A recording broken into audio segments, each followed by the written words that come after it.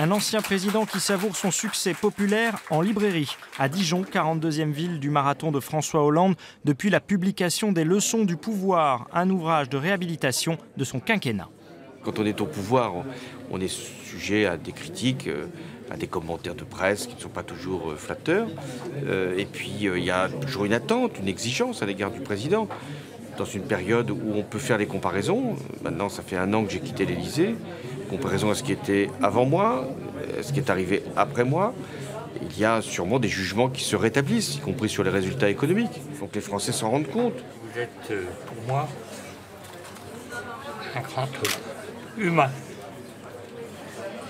C'est le devoir d'un président d'être humain. Exactement. Longtemps en mal de popularité, c'est aujourd'hui le succès en librairie qui rapproche l'ancien président des Français, avec déjà plus de 80 000 exemplaires vendus. Voilà.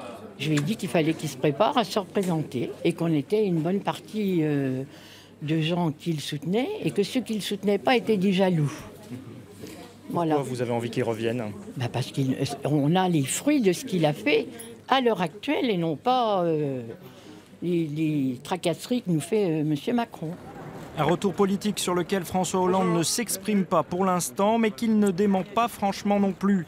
Il a d'ailleurs rencontré les élus socialistes venus l'accueillir sur le quai de la gare, puis les militants du PS. On me dit, je suis en campagne, je ne suis pas en campagne. Une campagne, c'est lorsqu'on s'adresse à des milliers de personnes dans des meetings, on a connu ça.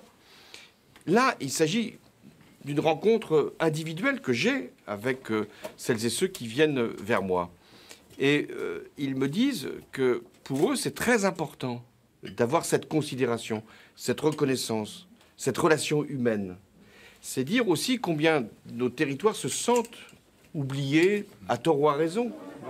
Dijon, une ville socialiste qui n'a pas totalement cédé aux sirènes macronistes, de quoi réjouir l'ancien chef de l'État qui a rencontré son ami de longue date, le maire François Rebsamen, avant de repartir écrire de nouveaux chapitres.